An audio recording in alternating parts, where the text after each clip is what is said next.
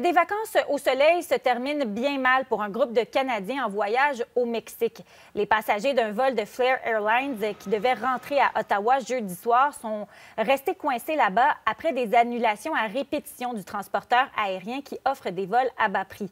Les 180 vacanciers ont été charriés d'un appareil à l'autre en espérant que cette fois ce serait la bonne, avant finalement d'être raccompagnés dans des hôtels, selon ce que rapporte CTV News. Une passagère rapporté avoir attendu jusqu'à deux heures à bord d'un avion pour finalement être informée que son vol ne partirait pas. Flair a déclaré que les retards avaient été causés par des problèmes d'entretien. Le transporteur a précisé que des alternatives avaient été proposées aux passagers, comme des billets de retour avec d'autres compagnies.